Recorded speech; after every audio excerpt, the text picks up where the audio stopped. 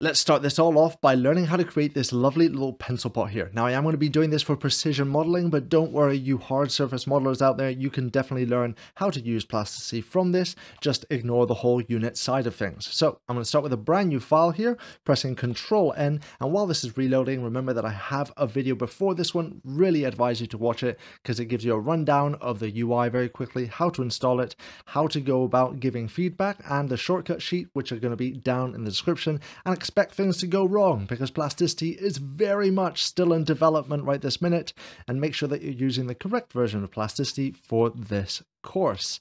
So from here, let's go and do sort of the first thing, which is Plasticity Workflow 101, is usually starting from a sketch, or you can start from a primitive solid here, but we're going to start from sketch to solid, sketch, create a solid, as well as cutting away from a solid with a sketch in this video. So I'm going to click right here. This is going to create a corner rectangle. The shortcut is Shift Q. Then I'm going to click on the origin point. Remember that if you don't know the 3D space, just move around. It will tell you what it is. And I'm just going to click and drag and click once again. We're are currently in an active operation. And how do we know that? Well, there's gizmos on the screen here that we can interact with. There's some new shortcuts on the bottom right, and there is an box on the bottom left here, which lets you interact with what is currently active as well. Now there's also this new menu down here, which is the context menu. And this basically, whenever you have something selected, it lets you know what you can do with it. So from here, I'm going to actually be using the shortcuts mainly, but just let you know that you can use it by this. You can hold down left click and then put in a unit amount. So for instance, seven, then let go of left click, or you can press D for the width. I'm going to put in 50 here and hit enter. That has confirmed the unit input, not confirmed the operation. To confirm an operation, it is right click. To cancel an operation, it is escape. So I'm going to press F here, type in 100, hit enter, and now I'm going to confirm this with right click and that has confirmed it. Now this is really big. So to see it all, I'm to press forward slash to fit it on my screen. Now for you precision modelers, you might be wondering, okay, you just did 50 whatnots and 100 whatnots. What exactly is this dimension? Well, I like to think of it as millimeters, but in reality, if you did one unit by one unit inside of plasticity and then export that as an OBJ, that's actually going to be 10 centimeters by 10 meters, what I do is just divide it by 0.01 inside of Blender, and we'll do that in the next video, and I'll show you the entire workflow. Okay, so here is your first closed sketch. Let's talk about what exactly is going on, why this is flashing and all of that. Well, that's got to do with all of these lovely selection options. So we've got control point selection, edge selection, both for curves and solids, face selection, both for curves and solids, and full solid selection. And remember, those are one, two, three, four, and tab to turn them all on. And sometimes you have to have nothing selected to make sure that tab works. So number one for this control point selection, this lets you select the control points here. You can also do a drag box to select a whole bunch. Number two, this is the edge selection edge selection right there.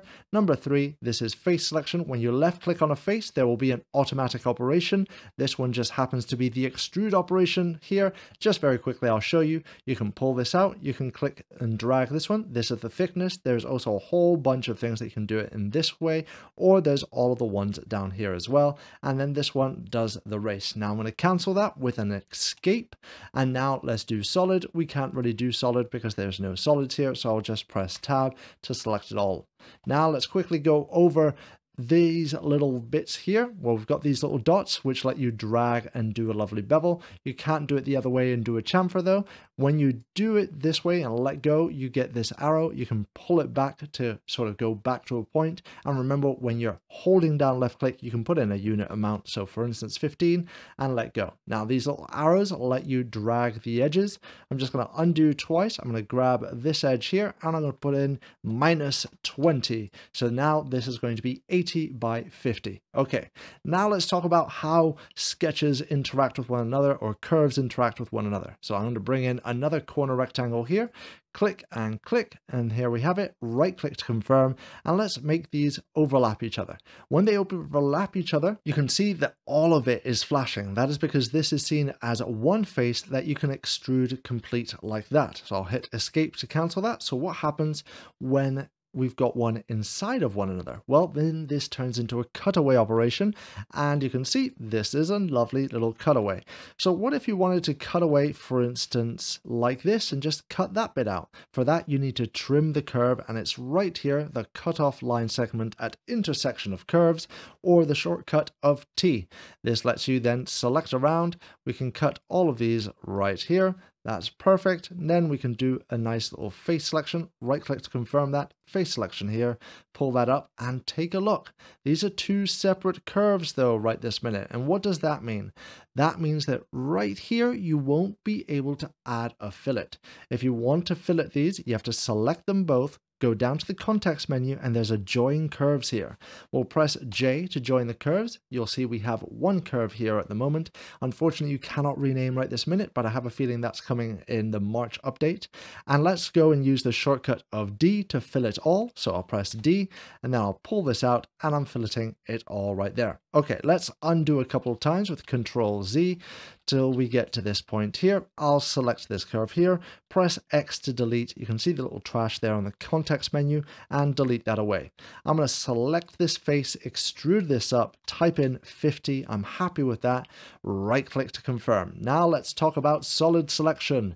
So I'm going to deselect by clicking out here. So now with it deselected, I cannot select an edge right away because everything is currently active. I have to select the solid object first and then that will let me select the edges and faces. However, if I did just have, for instance, face selection on, I could just go in and select the faces. So that's one thing to be aware of. So I'll press tab to select everything, select the solid, let's select this edge right here, and this is gonna have the automatic operation of a fillet. Going in the positive gives you a bevel. Going in the negative gives you a chamfer. You also have this little circle here, which gives you the chamfer angle. And you've also got the same on the bevel for the chamfer angle right there. Now, if you want to sort of undo a chamfer or a bevel, you can do that. Just select that face. And then this here gives you a nice little dialog to just pull it all the way out and it's done. Right click to confirm that. So I'm going to select that edge once again and I'm going to pull this to 30. I'm happy with that. Right click to confirm it. So let's talk about when we do a face selection here. What exactly is this offset face and why is this an offset face? But then when we go down into the context menu, there's an offset loop. Well, offset loop is actually doing the loop offset for a curve and the offset face is different depending on the surface itself.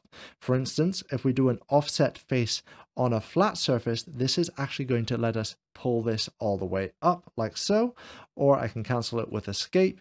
We also get this nice little sort of weird degree change right here, or when we're dealing with a fillet or a chamfer, as you've seen, that lets you add more or take away. So just be aware of that. I'm going to select this face and to bring this up by 50. There we have it. I'm going to right click and I'm happy with that. So let's create some sketches from these faces to then cut away from it. I'm going to show you two different ways of doing cutaways. Remember, cutaways are called booleans. So I'll select this face and I want to grab sort of the outline of this and I'm going to be doing that with the offset loop. So I'll press O and as you see, we're pulling this like that. I'm going to type in zero, hit enter, go right click, and now we have this sort of curved curve. Unfortunately, these curved curves currently aren't really that useful. We need to flatten this. And to flatten these, I'm going to actually use the transforms. Now, the transforms are like Blender transforms, G to move, R to rotate, S to scale. So I'll press S. I'm going to go and scale this just on the Z, and then I'm going to type in zero, hit enter, right click to confirm that operation, and I'm happy with that. So now I want to move this up and snap it to that point there. So G to move, I'm going to move this on the Z, bring it up and to snap. This isn't on the shortcuts but if you hold down control this activates snapping and I'm going to snap right there. Brilliant. Right click to confirm. Now I want to do an offset of this edge. Now what I mean by offset I mean a loop offset. So the offset loop, let's find it. There it is, O once again. So I'll press O. And now look at the arrow. Going up with the arrow increases. Going downwards is minus. So I'm going to go minus 2. I'm happy with that. Enter, then right click to confirm. This is exactly the behavior that we're expecting from this. So I'm going to select this outside curve and click X to delete it as you see it right there in the context. So I'll press X, delete that away. I'm going to select now this face. Remember, we have to select into the solid object, then select the face, or you can have just the face selection to select directly the face. I'll press O, take a look at the arrow. The arrow is going up. I'm going to go minus. So I'm going to go minus 2. Brilliant hit enter, then right click, and I'm happy with that. So we're going to go and do this in two different ways. I'm going to select the edge of this loop here. So let's do exactly that. Selected that. Is that the right one? That is not the right one. I want this loop edge here, please. Now, if I can't select it, I might have to hide this. So let's do exactly that. So let's press 4 for solid selection. Select this solid, press H to hide it. I'm now going to do a face selection. So here we have it. Press 3, face selection. I'm going to extrude this up by 97. I'm happy with that. Right click to confirm. And I now want to bring back my solid. To bring it back, it is Alt H unhide everything. You can also hide things right here by just using the little eyes. Okay, now let's bring this down by 97. So I'll press 4 for solid selection, select this, press G, then Z, go down by minus 97. Brilliant, I'm happy with that. Then hit enter right click to confirm. So how do we do a Boolean cutaway? We'll select what it is you want to cut from. So I'm selecting this one here, then select the cutting implement. Currently we have X-ray on, which is Alt Z. By default, it's usually on. Hold down Shift, left click it. Brilliant. Now let's take a look at the context menu down here. Here it is, Boolean, that is Q. So I'll press Q by default, it is a difference. And if you wanted a union, it's Q once again, but I'm happy with that. Right click to confirm, and that has now cut that away. You can have issues with perfect coplanar faces. So just think that if that's the case, just extrude that up a tiny little bit there and we'll go over extrusions later on, don't worry. So let's show you the other way of doing this. I'm going to press tab to turn on all my selection. I'm going to select my solid object, then I'm going to shift select this face.